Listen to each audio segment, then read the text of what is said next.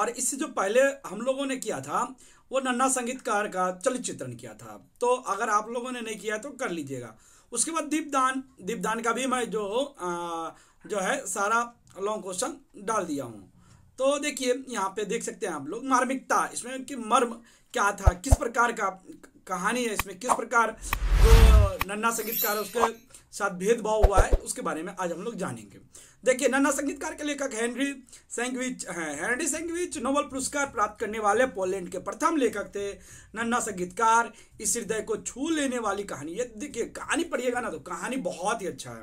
एक बार आप पढ़ के देखिएगा तो बहुत अच्छा लगेगा। इस कहानी का प्रमुख पात्र जैन नामक एक बालक है।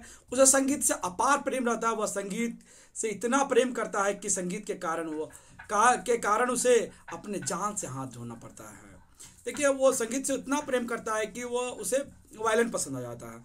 और वो वो वायलिन को छूने के लिए जाता है और उसको जो वो घर का मालिक होता है घर के मालिक का जो चौकीदार होता है वो चोर समझ लेता है। तो देखिए उसके बाद दूसरा में दूसरा पैराग्राफ में आप लोग लिखिएगा।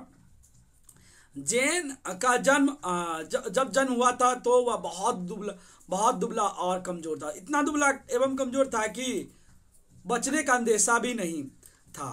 उसे पड़ोसी पड़ोसी होते ही बोल दिया। मतलब जैसे ही जन्म हुआ उनका आ, तो बोल दिया कि बच्चे का ये देखिए मैं जो ब्लैक पेन से ये ब्लैक कलर से किया हूँ ये आप लोग कोटेशन के रूप में ब्लैक पेन से लिख सकते हैं। तो इसको ब्लैक पेन से लिखिएगा तो नंबर आपको अच्छा मिलेगा। तो बच्चे का फ़ौरन फ़ौरन ही नामांकन और नामांकन कर, करना होगा। दूसरे एक स्त्री बोली मेरे ख्याल से मतलब वो लोग बात आपस में कर रहा था। तो यह पादरी के आने तक भी नहीं बचेगा। मतलब उसको अंदेशा था कि बहुत कमज़ोर है, ये जल्दी ही डेथ कर जाएगा।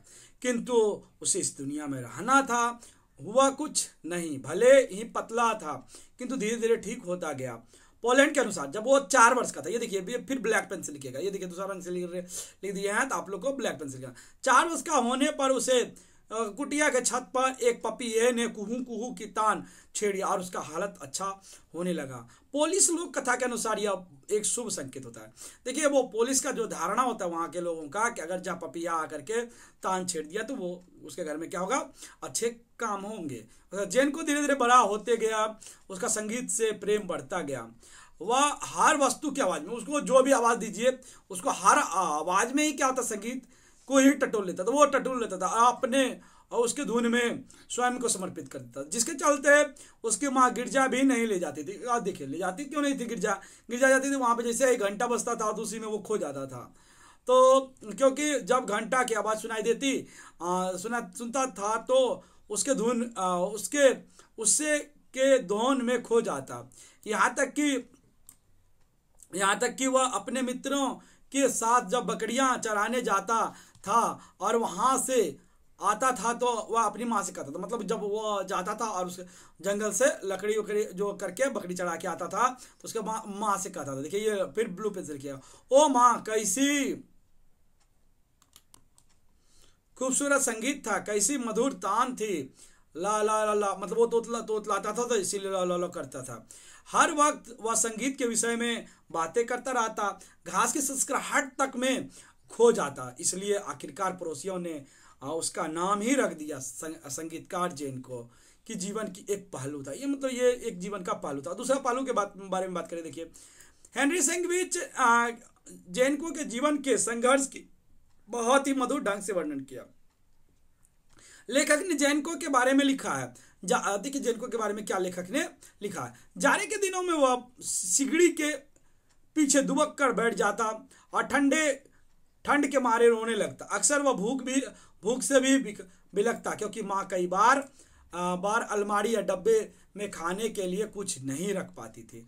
अर्थात उसके घर अर्थात उसके घर की स्थिति दयनीय थी, उसके खाने के लिए भी ठीक से नहीं मिलता, इसलिए दिन ब दिन वह पतला होते जा रहा था। आँखें हर वक्त चौकन्नी और आंसुओं से भरी रहती थी। और देखिए, उसका आँखें जो छाती और गाल जो होता था, वो देखिए गला द, गाल धसते धसते जा रहा था। उसकी शारीरिक स्थिति बहुत खराब थी। ठीक उसी के तरह उसका संग्रह सारंगी का था। देखिए वो क्या क्या था बच्चा? सारंगी बनाया था जो घोड़े के बाल से और लकड़ी वकड़ी से बनाया था। तो जो सारंगी का स्थिति था वही जिनको का स्थिति था। उसने एक दिन अच्छा वायलन देख लिया, उसे स्पर्श मात करने के चलते उसकी जान ले ली। अब देखिए वो जैसे वायलन देखा था, उसको वो क्या करना चाहता था? लेना चाहता था, छूना चाहता था। कैसा बसता है, वो करना चाहता था। लेकिन जब घर का जो वो देखभाल करने वाला था, सिपाही, उसने देखा कि सोचा कि ये चोर है और उसको पकड़ लिया और जेल भेजवा दिया। और उसके बाद वहाँ पे वो जो जज साहब बैठा हुआ था, उसने बोला कि इसको जाओ, डंडा लगा के छोड़ दो। और इतना ज़ोर से सिपाही डंडा लगाया कि उसका वहीं पे मौत हो जाता है। इसमें यही लिखना नन्ना संगीतकार कहानी हमें यह संदेश देती है कि प्रसिद्धि पा चुके कलाकार का गुणगान तो सभी करते हैं। हाँ जो मतलब बड़ा हो गया कलाकार, उसका सभी गुणगान करते हैं। किंतु प्रतिभाशाली व्यक्ति का मोल नहीं है। अगर आप में टैलेंट है, लेकिन उसका आप अगर जहाँ पैसा नहीं है आपके पास और ये नहीं है, अभी तो सुविधा है, लेकिन आपका कदर नहीं किया जाएगा। अगर उसके पास पैसा नहीं है तो कदर करना तो दूर छोड़िए, उसकी उपेक्षा की जाती है। मतलब उसको छोड़ दिया जाता है कोई काम का नहीं है। हर समय नन्ना संगीतकार जैसे प्रतिभा, प्रतिभावान लड़के की चाहत अपने जान से मूल्य चुकाता है। लेखक अपने बातों को साफ़ साफ़ रख रख साफ़ साफ़ रखे हैं एवं उद्देश्य में भी उन्हें सफलता पूरी पूरी सफलता मतलब तो रखने में, बात में रखने में जो है, उनको बहुत ही सफलता मिलेगी। इतना लिख दीजिएगा तो आप लोग को है कि इसमें पाँच पाँच नंबर पूरा का पूरा मिल जाएगा।